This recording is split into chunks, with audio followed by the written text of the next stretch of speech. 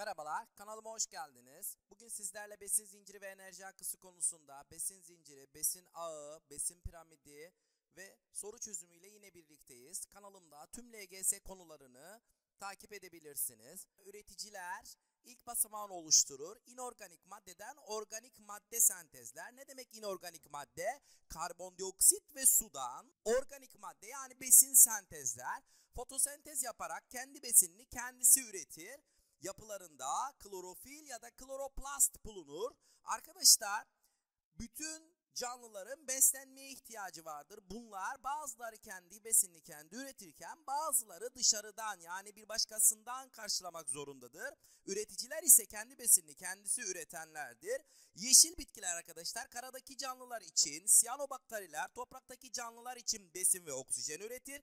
Mavi yeşil akler ve öglena ise denizdeki canlılar için besin ve oksijen üretir. Evet besin zincirinde tüketiciler mevcut. Tüketiciler besinlerini üreticilerden karşılayan canlı grubu. Tüketiciler de arkadaşlar üçe ayrılıyor. Etçil, otçul, hepçil. Etçil canlılar yani etle beslenenler. Aslan, kartal, kedi, köpek, leopar, tilki, sırtlan, timsah örnek verebiliriz. Otçul canlılar ise ot yiyen canlılar yani inek, koyun, keçi, at, fil, zebra, geyik, gergedan gibi. Arkadaşlar hepçil yani hem ot hem et yiyen ayı, domuz, serçe, karga, insan gibi canlılar örnek verilebilir.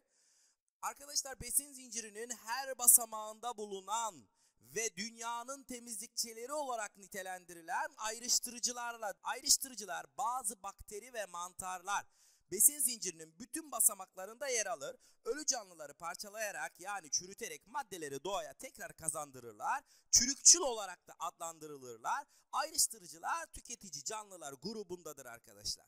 Evet bir ekosistemdeki canlılar arasındaki beslenme ilişkilerine besin ağı diyoruz. Bir besin ağındaki besinin canlılar arasındaki akışına ise besin zinciri diyoruz. Bir besin ağında birçok besin zinciri vardır arkadaşlar. Aşağıda bir göl ekosisteminde bir besin zinciri örneği verilmiş.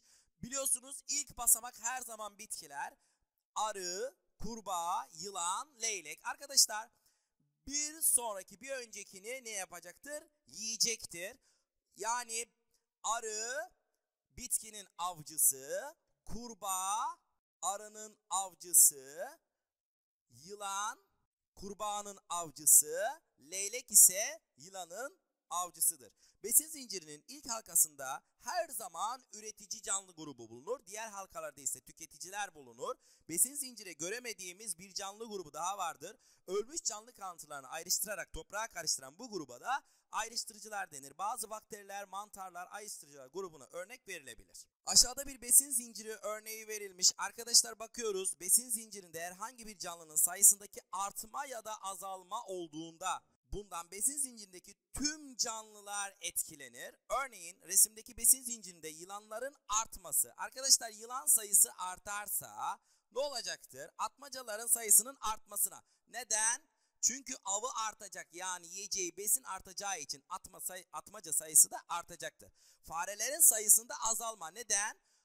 Daha fazla av olacaktır. Onun için azalacaktır. Çekirgelerin sayısında ne olacaktır? Artma olacaktır. Neden artacaktır? Çünkü fareler onu daha az yiyecektir. Çekirgelerin sayısının artması bitki sayısını ne yapacaktır? Azaltacaktır arkadaşlar. Doğada üreticilerin olmadığını düşündüğümüzde tüm canlıların aç kalabileceği sonucunu çıkarabiliriz arkadaşlar. Yeşil bitki üretici arkadaşlar. Birinci tüketici, ikinci tüketici yılan, üçüncü tüketici yırtıcı, atmaca.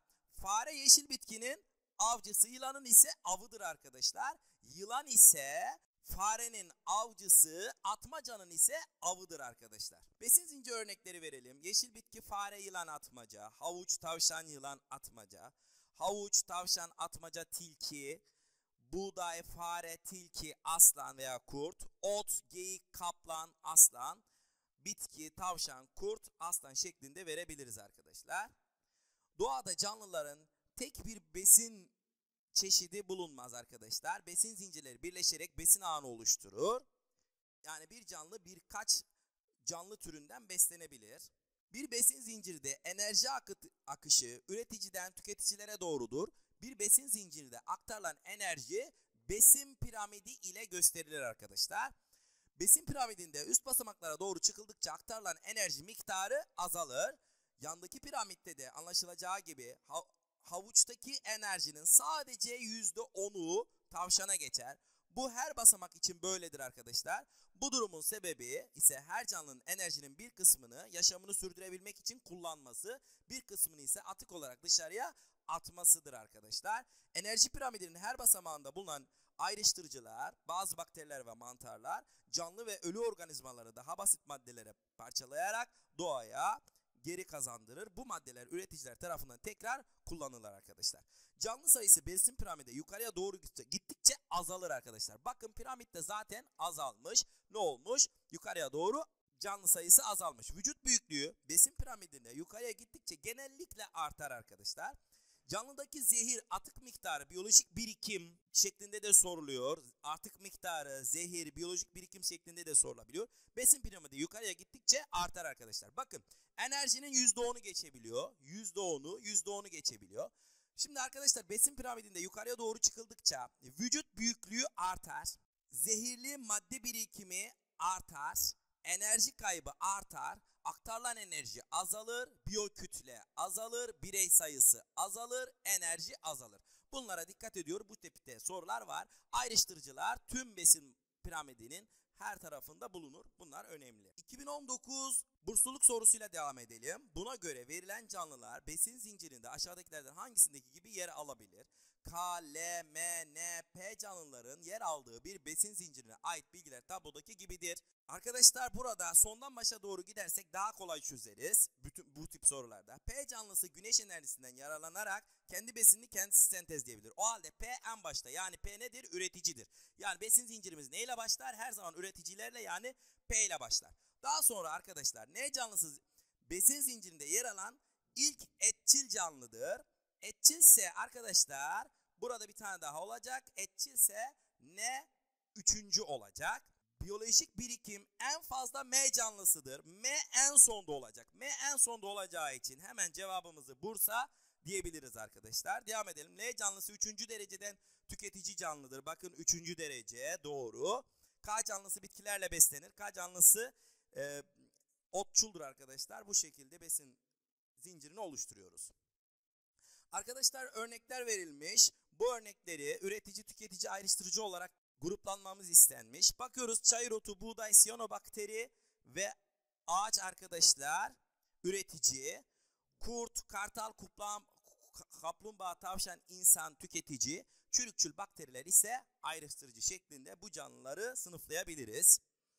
Yine arkadaşlar besin zincirinde çekirgelerin sayısı azalmaktaymış. Çekirge sayısı azalırsa buna göre aşağıdakilerden hangisi? Arkadaşlar çekirge sayısı azalırsa bitki ne yapar? Artar. Diğer kendinden sonraki tüm canlılar arkadaşlar ne yapacaktır? Azalacaktır. O halde bu şekilde bitki artacak kendinden sonraki tüm canlılar azalacaktır. Besin zincirini oluşturan canlılar aşağıdaki enerji aktarımları arasındaki grafik verilmiş. X, Y, Z canlıların enerji piramidindeki yerleri aşağıdakilerden hangisidir diyor. Arkadaşlar bakıyoruz. Aktarılan enerji miktarı en fazla Y'de ise Y en altta, en az Z'de ise Z en üstte olacak. O halde hangi şıkta var bu? C şıkkında var. Mıstık Fenci YouTube kanalına abone olup like atmayı unutmayın. Beni dinlediğiniz için teşekkürler arkadaşlar.